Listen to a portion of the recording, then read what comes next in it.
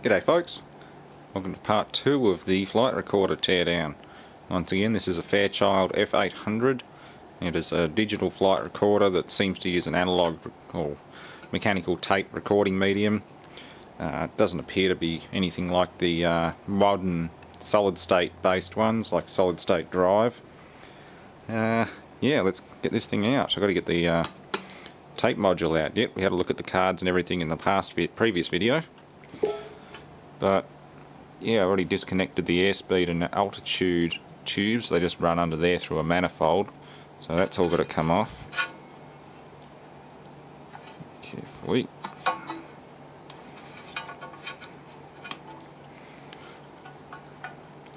And we've got to get these connectors off, so let's open this up in a sec. Alright, let's see. Very glary off this metal shield. So hopefully the footage comes out alright.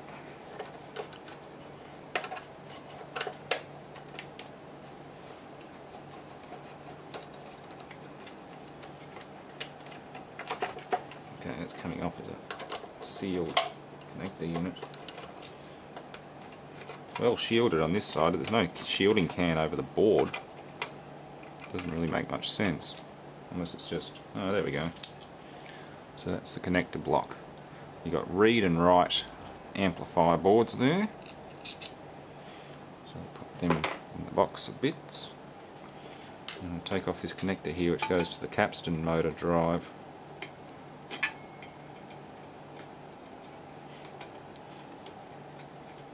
Screw them evenly.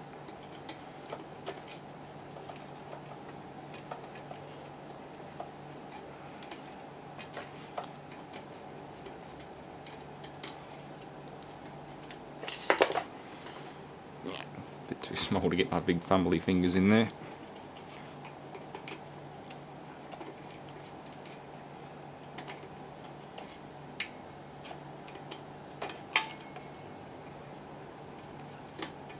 Get off.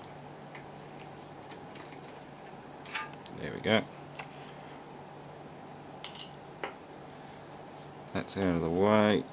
That's folded up there. Already taken one, two, three and four screws out. That bracket's broken, but it also looks like someone's drilled a spot weld out or a rivet out from the top, so they must have had a stuck screw at one point and not. Uh, well, it's not spot welded, it's uh, yeah riveted. They've drilled one out from the top, so they just haven't finished repairing it. It's just held in with one rivet. Still adequate, but yeah. There. Let's try not to knock the tripod over again. I haven't done that for a while, but I generally avoid using tripods because they do get in the way. Go, easy, clean. Let's put this on the floor. Alright, so this heavy little lump is the recorder itself, and that is the main drive. It's got a very fine belt around it.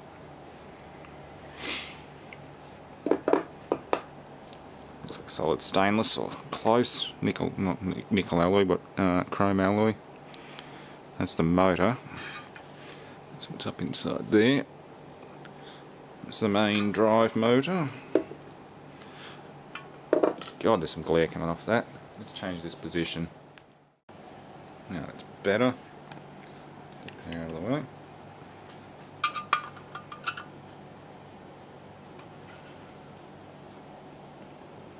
Well, very tight, and I'm going to strip you out if I'm not careful. Um, let's find a better screwdriver. that is very tight.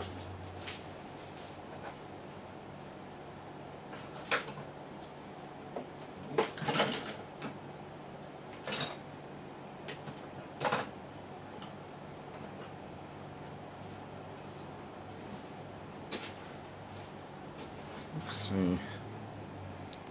Tip of this drive is not in the best nick.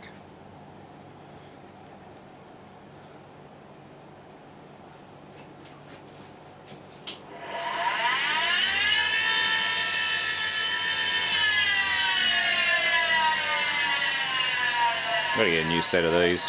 Just ground the very point off because it is so badly rounded out. There we go. Feels like it's Loctited. Yep, good stuff, Loctite. Until you get get to have to remove it like this. Especially red Loctite, that, that looks like red. There we go. So these screwdrivers good as new again. I don't know why they make them so sharply pointed. a lot of the screws, the point bottom's out before the um, the driving edges are actually in the socket of the screw. So at least this way, it fits properly. These are Kayback branded ones. Kayback's a pretty decent company. They make a lot of good, well, I'm, some of my good computer mice with Kayback mice. They do cable wraps and shielding and stuff like that. And you name it, lots of electrical engineering goodies. But don't get me wrong, these are great screwdrivers. I have put a lot of lot of miles on them. There we go. So that's the main drive. It's got a reduction drive. So we've got motor, primary reduction, secondary reduction. So yeah, spinning that motor very quickly, you get very little motion. These are only, I think these are designed to run a 30 minute loop, and that's about it. So yeah, tape moves very slowly and it'll encode in digital so you'd probably get even more than 30 minutes or something on it.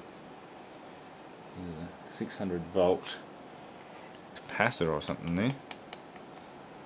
Whatever that is. It's an L-Pack. Oh yeah, 6, 0.068 plus or minus 10%. 600 volts. Yeah, it's a cap. 0.068 microfarad cap. That'll be for the motor. It'll be an AC synchronous motor. 400 hertz AC. Okay.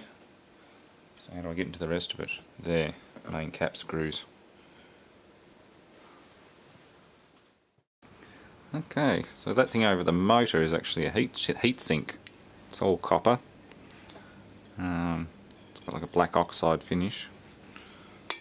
And motor, serial number 105. It's made by Island Components Group. It's a servo motor, Fairchild part number 9300-218-03 and below that is IMB-001 not seeing any rating on it. Unless it's way over the other side but I don't really feel like pulling it completely apart. You get the gist of what it does yeah, these cap screws have to come out next Alright, let's go. I've already got a couple of screws out there. 316, well, 316 key, quarter inch screw, a rusty old Allen key. I did buy some new ones, but were bloody crap metal. Just kept bending. I don't want it to shatter and stab me in the hand. Although generally if they bend, like they're made out of plastic, they're not so bad. It's the really cheap ones that shatter and stab you. Gotta watch out for that best ones I believe are Bondhus. They're a uh, really high quality American made one. Okay, so well, it's not held together by much now. Lift. Okay, that's fireproofing. Tension. can see I put the shield back on the mechanicals of it so I can do that and put it down. Look at that. Pretty sure that's stainless. It looks like it's electro-polished stainless. You can see the, the mark. You run direct current through it in a certain solution and it polishes the nuts off it like that. But direct current needs line of sight and you can see where it's cloudy. It's away from where the DC was. But outside, comes up like that all the stuff I make at work, or most of the stainless stuff I make at work gets that treatment. It's really good. That's an outer impact skin shell.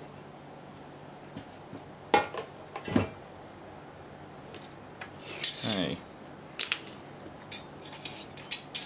So, how do you go together? Glued together. Oh, I'm going to have to start cutting I'll bet you this does have a tape in it. It doesn't look like it's been actually breached. Oh no. That's alright. Aha. 6th 2000, so it's been that's probably when it was refurbished. Date 10th 2000. 699 GMS grams. 699 grams. Yeah, L3 L3 Communications, is it? Yeah. L3 Communications took over Fairchild years ago. So that's a composite fireproofing. Yeah, it's all encased in a polyethylene shell or something like that. That'll be poly, probably, probably poly, polypropylene with a very high flame retardant contact, content. It doesn't like burning. Really doesn't like burning. I used to injection mould this stuff a few times to make flue outlet covers for uh, gas heaters. And yeah, you could hold a blowtorch to it and it'll start to melt and flame a little bit, but as soon as you take that torch away, it just self-extinguishes. That's the recorder box.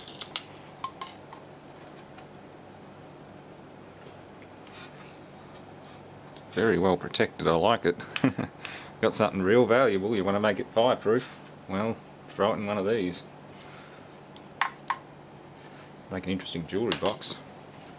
We're going to need a properly sized screwdriver for them so I don't wreck the heads and have to get the grinder out.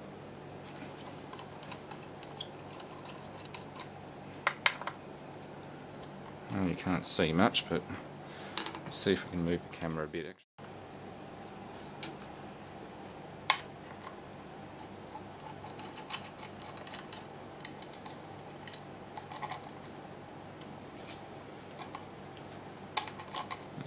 This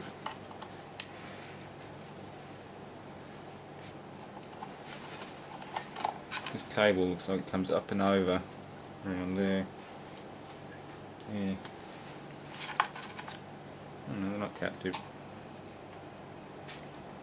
I think it's just got gasket glue or something on it.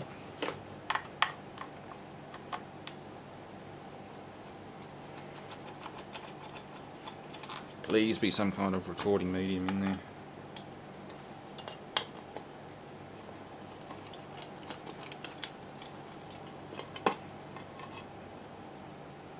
Oh, look at that, it does have a tape in it. Wow. Shame there's probably only a couple of devices in the world that can read it, and that's probably in the laboratories that these are supposed to go back to. Yeah, yeah, we're going to need macro mode for this one. Let's see.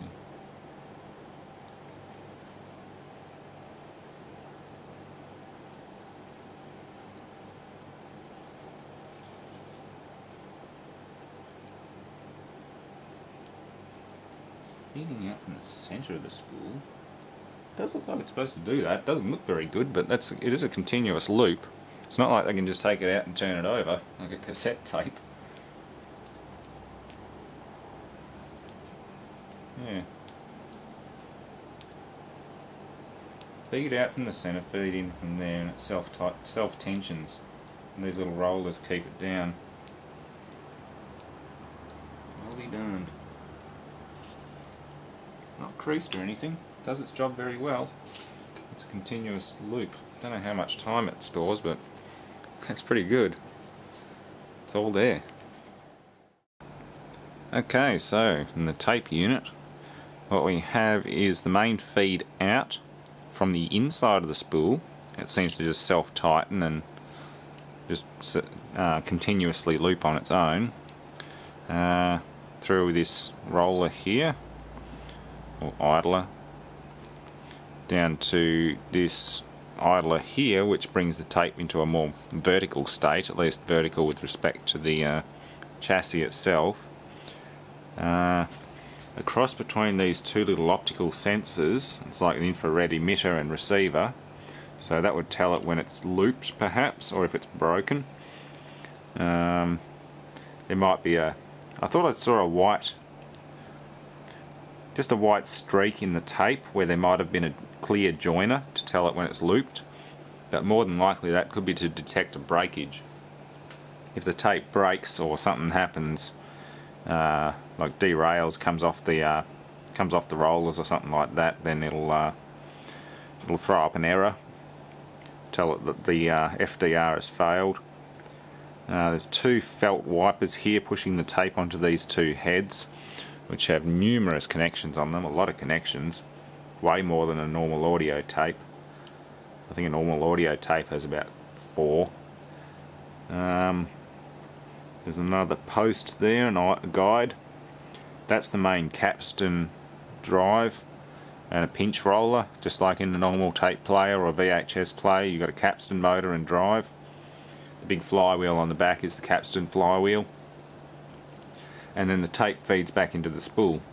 It's as simple as that and it just circul circulates continuously. So there's not an awful lot to it when you look at it compared with say a normal VHS or uh, audio cassette player but it's just a slightly more well built and elaborate design. It's just a continuous loop with no rewind. There's no period at which it has to stop and rewind. This should just be a continuous loop of tape with a detector to tell it if it breaks or well yeah if it just breaks or just comes off its uh, guides. And as you can see if we turn it carefully in the right direction yep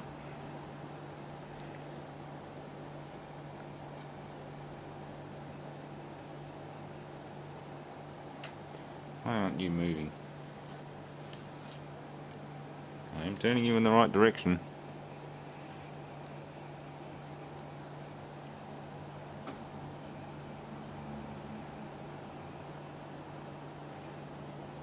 Having issues.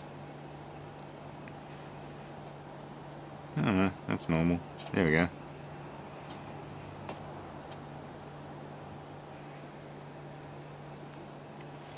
I think it's a bit unhappy. I'm probably not the first person to play with it, but it is uh, working correctly. Mind you, I'm probably turning it too fast and too erratically for the mechanism to work. But it doesn't look like it's doing much, but that tape is passing all the way through past the pinch roller and the capstan and into here. And what the capstan does is it actually pulls the tape through. This is just slack and there'll be a tensioner, probably these two felt pads and this little uh, idler here it doesn't feel to have any tension on it and the tension from the pulling out of the reel and these felt pads is all that it needs there's no break on the spool on a VHS player for example there's little felt brakes that push on the uh, the take up the uh, feed out reel or even a band, a brake band and uh, yeah if they if they fail you end up with tape bailing up in the mechanism and chewing tapes and other things like that.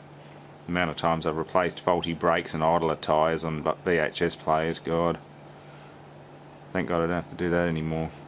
At least not, ra rarely do I touch a VHS player. I've got a couple inside at the moment, I just don't use them. Very rarely do I use VHS. I don't have any actual... Oh, I do have tapes. I've got the old Alien trilogy and a lot of X-Files and things on VHS. Audio cassette, I don't have any. None. But very similar to an audio, basically an audio, audio cassette recorder, but data, computer data. It's like an old reel-to-reel -reel computer recorder, tape tape drive, I guess. You could call it similar to an 8mm tape drive. That tape's definitely 8, 8 millimeter in width, or at least very close let's see. see if I can find something to measure it.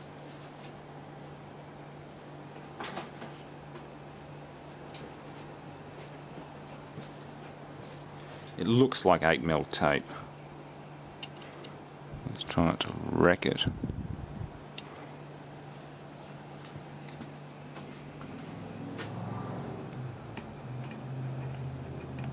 Camera in the way. Yeah, dude, 7 millimeter, and that was on a diagonal. Come on, camera's got to move.